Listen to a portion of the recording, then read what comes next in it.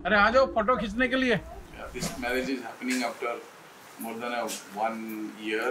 Originally, we wanted to do it last year, and because of the pandemic, everything on the way changed. So this particular marriage again was supposed to happen in Chennai. Marriage and reception was in Bhubaneswar. And our origin last year, the marriage was supposed to happen in Chennai. Reception was in Bombay. So all these planning changes, and finally, Chennai became unsafe because of the uh, pandemic, so we wanted to shift to Bhubaneswar. At the last moment, we decided. It was a gala event as was Right. planned. It, it was supposed to be a destination wedding, and here there was reception was planned with more than 300 guests.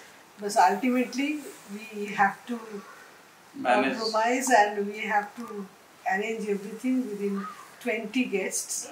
It was our first child's marriage, so it was planned as a dream wedding, but now we have to somehow complete the rituals Process. and. And is today today is completely locked down. Everywhere it's locked down. So, So so it is good. I mean, finally it's getting done. We have got our pandit, uh, you know, at five o'clock. after a lot of stress and tension, the marriage is It's happening. happening. That is the biggest Yes. thing. Hopefully things will move out. Thank you so much.